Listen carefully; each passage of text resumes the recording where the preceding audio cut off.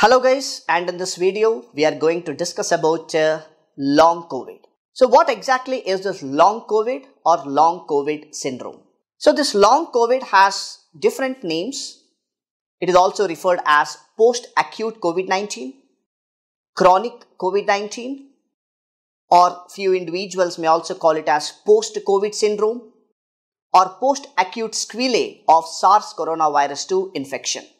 So whatever it may be, this long COVID usually refers to symptoms that develop during or after acute COVID-19 illness and continue after greater than or equal to 12 weeks and are not explained by an alternative diagnosis. So this is the actual definition to explain about what exactly is the long COVID syndrome, which means the clinical manifestations still continue greater than or equal to 12 weeks during or after COVID-19 infection. So it is not yet known whether this long COVID represents a new syndrome unique to the COVID-19 or overlaps with the recovery from similar illnesses.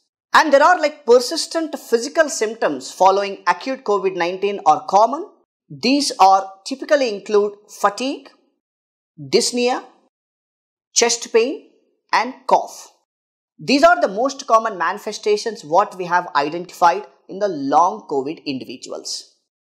And for approximately 30 to 40% of the cases, they do experience headache, joint pain, insomnia, anxiety, and cognitive dysfunction, myalgias, and diarrhea have also been reported in these individuals.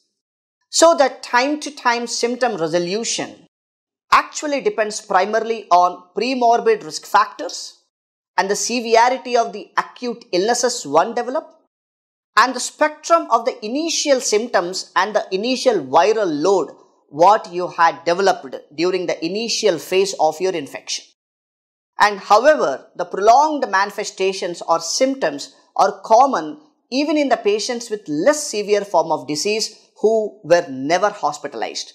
That is the reason even after you got recovered from the COVID, it is pretty much important for you to follow the actual diet which is going to boost your immunity and also it is advisable to say that you have to continue to take the medications like vitamin C, vitamin E and other multivitamins along with the zinc.